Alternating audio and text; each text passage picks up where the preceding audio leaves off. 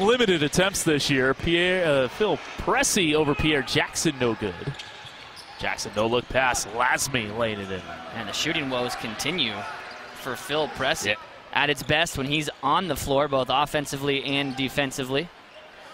Stephane Lasme, the 18 footer, is good. Former Golden State Warrior and Miami Heater. By Damian Jones to free Wood up. Didn't have a ton of space, but he doesn't need a lot of space. Lasme for three. Yes, sir.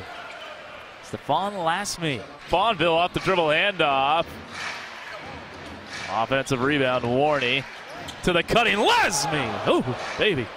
Perfect offensive rebounding position after rolling on that ball screen. That's good action for the Warriors. Lasme good from 15. Definitely in his head, though.